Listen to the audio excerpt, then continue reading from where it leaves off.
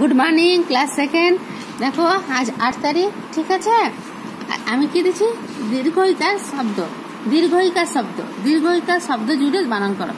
তো কি কি দিয়েছি এখানে? কয় দীর্ঘি টকি দয় দীর্ঘি প্রদীপ।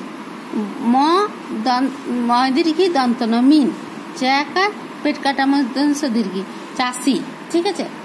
আর দেখো, আবার বলছি কয় দীর্ঘি টকিট দয় দীর্ঘি প্রদীপ ময় দীর্ঘি দন্তন মিন চয়াকার তালবিশ্ব দীর্ঘি চাষি তালবিশ্ব তালবিশ্ব রসি শশী। ঠিক আছে? এইগুলো এই সাইডে ঘরে, এই সাইডে লিখবে। ঠিক আছে? এগুলো নিয়ে লিখবে, বারবার লিখবে আর মুখস্থ করবে। ঠিক? এগুলো লিখে মুখস্থ করবে, এগুলো ভালো হয়ে যাবে তাহলে। আগে তো জানো থ্যাংক ইউ